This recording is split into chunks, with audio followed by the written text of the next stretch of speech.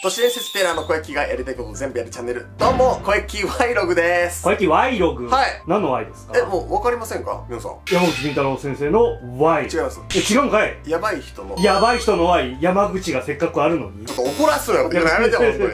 もうどういう感じかちょっとわかんないから。本当にやばいゲストの方が来ました、はい。山口敏太郎先生です。よろしくお願いします,、はいお願いします。山口敏太郎先生とでも説明不要だと思いますけどもオカルト界の重鎮としまして、うん。この都市伝説界を作った人と言っても過言ではないですよね。関明夫君が都市伝説って言う前から俺は都市伝説使ってるおおそうだから、うん。都市伝説って言葉が作られたのも CIA が作ったとか言われるじゃないですか。はいはいはでも CIA の一員か 逆にね。昔から言ってる。んですよねあの90年代にはい僕神奈川大学にいたんだけど、はい。あの時に教授がいて、はい。結構強かったのその分野が、はい。現代民話って言い方してた時、うん。現代都市伝説って言い方してた。どっちを使おうかなって言ってる時代から僕らいたんで、んうん。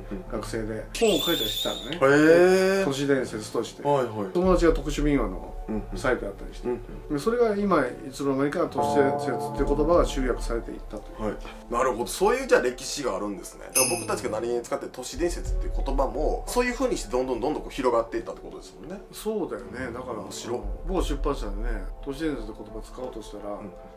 それは関さんのオリジナルだからダメですって、い、や違うよ。日本語としては最初からある言葉なんだよ、ふざけんなと。うん。うん、だから知らんも確のを知らない人が多いねああ確かにね。それはみんなのものよな このチャンネルというのはね。そんな都市伝説界ではねもう超有名な、えー山口敏太郎先生なんですけど僕ちょっと一つお礼があるんですよ、はいはい。徳島にてですねたくさんのアテンドをしていただいてありがとうございました、ああい先月ですねあのうん徳島に行かせていただきましてうん残せば1年前から阿波踊りあ踊り。の中継を見て、うん。すごい圧巻されたところから徳島に興味を持って、まあ、それまでもいろいろ都市伝説では、えーすごい場所っていうのが分かってたので、うん。絶対来年の阿波踊り見に行こうと、見に行ったついでに都市伝説の取材もさせていただこうっていうふうに計画をしてたんですが、まあ、残念ながら台風が、あえー来ちゃって今年の阿波踊りは行けなかったんですけども、うん。ただ本当に都市伝説の中でもすごい重要なスポットじゃないですか。そうだね。なので絶対これはリベンジさせていただきたいってことを、えー宣言しましてその1ヶ月後の9月に、えー行かせていただくことになりました、うん。ただですね僕ら本当に無知なので自分たちの取材力だけではね到底出会えないような人とか場所とかもありますから山口敏太郎先生が徳島出身なのでね。えー出会った、えーのも中のご縁なのでちゃんと聞いてみようと思って聞いたら能力者をね、うん。紹介していただいて妙もあったんですけど近光さん。近道さん。近光さんと会いましたよ。怪しいですよね。あのね怪しい。怪しいな。で怪しいと思いますかやっぱ。もう45年付き合ってるんだけどおいおいおい。いまだに疑ってるもんね いやあんまり僕ら爆笑するのもよくない。僕ねコメントでむちゃくちゃ叩かれたんですよ。分かった。かばってくれてる人は分かってる。大変だなと思って。その一件をご存知でしたか？ええそうです上場職員がはい。大変らしいですよって。俺も分かるよ気持ちはでも都市伝説とかオカルトっていうのは信じるか信じないかあなた次第だしそうだよね。のロマンがあった方が楽しいじゃないですか。全部が本間物なわけじゃないし全部が偽物でもないわけですよ。ええそうです、そね、こが面白いんだけど最近のエンタメっていうのはなんか真実に迫らなきゃいけないみたいな変なルールあるんですよ。あああるある。それのエビデンスとかを出してこないといちいちダメみたいなソースはって聞くような文化あるじゃないですか。あるあるある。そんなことじゃなくて楽しいか楽しくなくて本当に知りたかったら現地に行ってみたらいいだろうしね、うんそういうのも僕は結構思うんですけどすごい真面目な方もやっぱいらっしゃって誤解を与えてしまったんで謝罪動画を撮ったんですよ。近道はねちょっと分かりづらかったね 僕も友達だけど、うんうん。信じる部分と信じない部分があるんだけど、うんずっと観察してるんだけどアコギなことは一切しないよね。人間性はいいですよね本当に。素晴らしい方ですよ。プライベートでも、うんうん。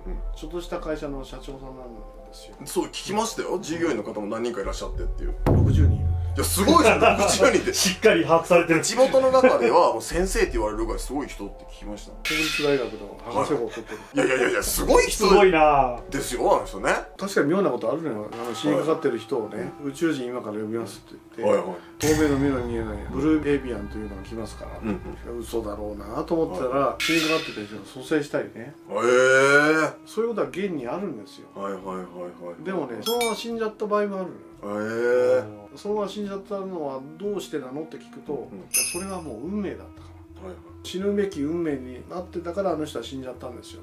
うんでそれ以外は助けることができたので助かりました。だからあのこの人は生ける人この人は死ぬ人ってなんかよく言いますねあの人ね。なるほどね。ちょっと不思議な力を持ってるのをね僕感じたんですよ本当に。うん。カメラが回ってないところだったらスタッフのねプライベートのことをズバズバ当てたりもしてたんでその凄さが伝えきれなかったのは僕たちのせいなんですけどもでもね当てられたもんねなんかね。そうですね。足が悪いっていうところを当てられたりとか。前日に捻挫してたやつを当てられたりとか。足足悪かったんですか？右足か左足。そうそうそうその時。それは歩く姿を見られたんじゃない？あめちゃくちゃ。やめてください。近道さんのコールドリーディング的な感じのことは。でもそれぐらい疑ってみないとね。まあまあまあまあね。やっぱね山口敏太郎先生がすごいって言うとみんなやっぱすごいと思っちゃうのもあるんですよね多分ね。100%信じる霊能者っていないですよ。ああいないんだやっぱ。アーリンさんが大体8割9割すごいなへえー、アーリンっていう相手の心を読むはい女の人が大阪にいるんですよ、はいはい。これはすごいなと思う。へで近道は大体78割読んでるえー、そのすごい。だからあのアーリンさんでも外れることはあるんですよ。降水確率みたいなもんですよね。100%じゃないですもんね。100%はいないですうん。ね神様になっちゃいますからねそうなね。確かに確かに。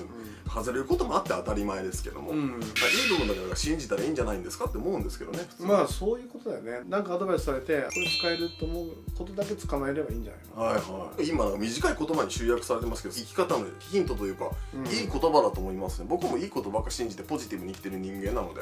それが大事だと思うんだよね、うんうんマイナスのことを考えるとちょっとこう鬱に入っちゃうじゃん。いやそうなんですよね、仕事がうまくいかなくなっちゃうからね、はいはいはい。だからやっぱポジティブシンキングでいくんだったらそれが一番いいのかな。なるほど。小焼 Vlog はですね普段漫画アニメの考察チャンネルとか見てる人もいますし、うん。音楽から来てる人もいるので、そののそうですオカルトや都市伝説と関係ない人たちを見てるんですよ視聴者さんとしてね、うんなのでそういう人たちってまずそもそも UFO いるんかとかね。うん。その辺のレベルから多分言わないといけないと思うんですけどせっかく先生に来ていただいてるんで、うん。うん。その真相みたいなの分かる範囲でいいんでちょっと教えてあげたいなと思うんですよ、まずね、はアメリカ政府が UFO はいますって認めちゃったんですよ。い、もう認めましたからねこれは。これはもう事実ですから、は認めるまでに50年ぐらいかかってるわけですいよすごい時間を要しましたね。すごい時間だけど宇宙から見たらうん。50年ってあっという間なんだよね、まあ確かに何億年っていうね単位なんで、いるけどじゃあ誰が飛ばしてんのよっていうと、それははっきり言わないんだよね。ああ存在は認めてるけどもその詳細は言わないってことですよね。そうなんだよね。だからまた50年ぐらいかかるかなとみんなが戦って運動しても50年ぐらいかかったらもうん。う死んでるもんね。はいはいはい、はい、今見てる人たちとかね。なるほどね。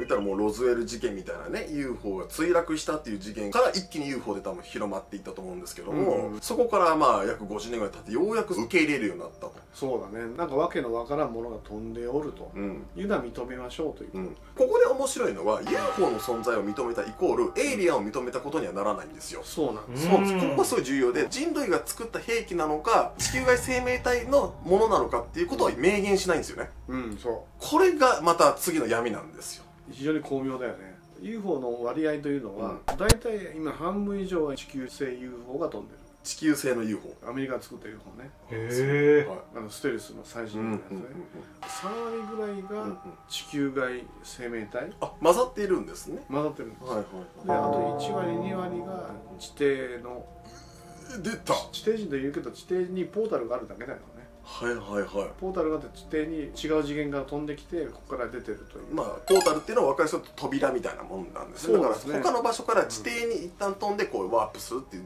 その中間地点ですね。なんで地底なんだっていう意見があるんだけど、うん。地底が一番目撃者が少ないから。そっか。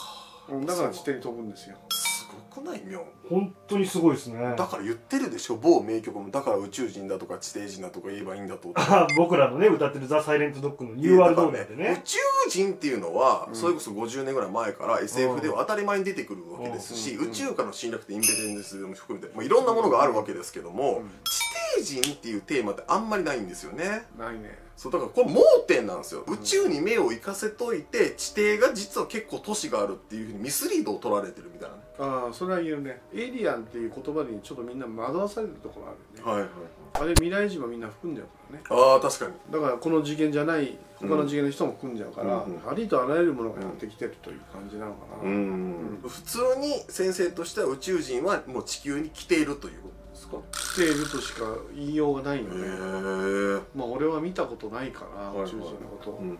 普通に付き合うんだよねいろんな人と、うんうん一緒に庭に来ましたと。庭？巻き尺で測りました身長測るんだ。冷静やな。うちのベランダにも来ましたっていう人もいました。ええー、ミョンの？さ家の来てほしいよ。なんで僕の家の住所言うんですか普通に。物件名言うなよ。ベランダとかさ、はい。来たらよくない？びっくりしだってますけどね。マジでさ寝坊して間に合わない時乗ってかせてっていうまあまあまあ手伝ってくれるならね。ね、うん。有効的なんですか？有効的なのと有効的じゃないのとかありますね。やっぱり。人間と同じですよ。有効的なので何性とかあるんですか？そうですねアンドロメダとか。アンドロメダっていうのはねその地球があるその天の銀河の隣の銀河のことですけども、うんそうですね。一番近いお隣の銀河ということになります、うん金星人と言われてるのは、うん、また次元が違う金星に住んでる金髪の人ですね。あ金星金髪。そうなんだ。金星金髪なんです。うん分かりやすくていい。なわかりやすい。すごいっすね。セーラーヴィーナスみたいな。スーパーサイヤ人みそうだたいなね違う次元の金星なんでね。今僕たちがいる中のやつじゃなくて違う次元から来てるってことですね。どうも違う次元から来てるらしいんですよね。違う次元では金星は結構栄えてるんですね。地球人が、うん。まあ、未来になって、はいはい。いろんな星に進出して、いろんな星で進化して、うんうんそれぞれの何とか星人とかなっていって、ああはいはいはいね3万人もの人がやってくるとなるほど元地球人の子孫だけど、はいは今何とか星人だよねっていうん。風になっちゃうんいだよね。なるほど。じゃあ僕らの子孫もさゆくゆくは何星に住民票を移す可能性あるもんな。その話で言うとそうっすね。ね、金星の都市の住民票を取って、うん。そこで税金も納めてうん。ってことですよね。詳細に言うな。金星税金高いから地球戻るみたいな ふるさと納税みたいな感じになってるかもし地球れないから。もゆくゆくは住めなくなる可能性があるからうん。惑星間移動なんかも当たり前の感じなんですかね？いやもう当たり前でしょうね。うわ。だからそういうふうなことを考えていくとじゃあ宇宙人何なの？って。あ聞きたい。地球に来て普通にヘルメット取って普通に歩いてるだとしたら、はい。はい彼ら間違いなく地球人の子孫だよね。あそうなんですね。他の生態系で育ってきた行動生物だったら呼吸できないもんね。あ確かに確かに。うん。酸素も毒って言いますしね。そうなんだえよね、ー、これめっちゃ面白くない？だって僕たちが思っている未来人とか何々人っていうのはもともと地球の子孫である。うん。っていう発想はまず面白いよね。びっくりします。は前世とか前々世とかいろいろあるんだけど、は前世は未来に生まれると思うんですよね。はいはい。未来に生まれなくて過去に生まれる場合もあるんだからそれはもう高次元な概念が必要ですね。そうです、んうんうんつまり今から我々が死んで、うんうんはい目が覚めました。織田信長の部下の家の子に生まれました、うわそういうことになるわけですよ。僕たちが歴史で習ってきた人たちになる可能性もあるんですよ。なるんです。でもそれが我々のいるこの時間軸のうん。延長線上にいる人とは限らないんですよ。なるほどね。いなるほど。織田信長だけど、ん。実はすごい人のいい人でうん。織田幕府作っちゃう人かもしれない、はいはいはい。なるほど。あそうやってパラレルワールドって生まれてくるかもしれないですよね。パラレルワールドがね720万通りってあるって言ったからだか720万通りですって。らもう頭おかしくなるよね。いやおかしくなりますよね。あだってミョンがじゃあ今死にました、はい。ごめんね。死んで。ごめんね。そんな別にあの 時代に合わせて配慮しなくてが織田信長になりました、はいはいはい。すごい弱い将軍だと思う。まあ確かにね。すぐ死にました。意志も弱いし。そう。そしたら違う世界線が生まれるからそうですね。そううん違うね。教科書が変わるやん。今の時代をトップを走るような経営者。イーロン・マスクとかの脳みそではいはいはい。過去の武将に行ったらすごい平民とかでも確かに。将軍になってまああー。それがなんか豊臣秀吉かもしれんもんなって。ああ確かにね。猿って言われたとこからズバーンって出世するみたいなね実際ね坂本龍馬は未来人の生まれ変わりじゃないかっていう。そういう方が納得するんですよあの人の生き様見てるとね。うん。日本の夜明けは近いぜよとか言われへん。よ確かにそうですね。そんなん言ってんのワンピースだけだよ確かにね。言葉がキャッチーなんだよね、うん現代人の僕らにも刺さる言葉を言ってるあ確かに。確かに。だから未来人じゃないかなっていうのはね。先生今日めっちゃ面白いです。え面白い？見てる人たちは結構衝撃的だと思ってます。うん。ああそう考えると過去で生まれたいよね。うん。僕も過去に行きたい話はタイムトラベルができるようになったら。そうそうそうそう、うん。過去に生まれて過去に歴史を変えちゃったりすると面白いかもね、面白い。どの時代に行きたいですか先生は？幕末。幕末ね。うん。それはもう獅子側なんですか？獅子側になっちゃうからね。先生がついたらめっちゃ強いよ でも記憶が残ってるかどうかわかんないからああ確かに。それは消されちゃうよね。うん。ルールとしては。これは消されない方法があるんだって。ちょっとそんなチートアイテムありますか？ずるーそれ。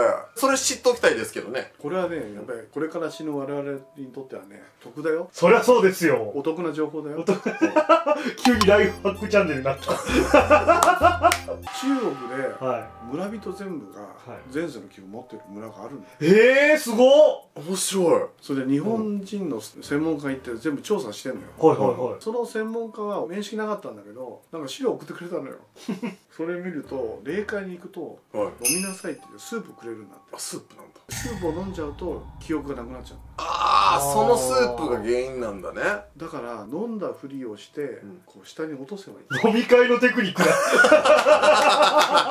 でも出されたものはいただいちゃうから そうですね。多くの人が記憶は消えちゃうわけですよね。そうだね。みんなそんなこと知らないからね、うん。記憶が消えるってそうだ先生もなんか未来人みたいな知識ありますよね。確かに。もう未来人なのかな？ですよ。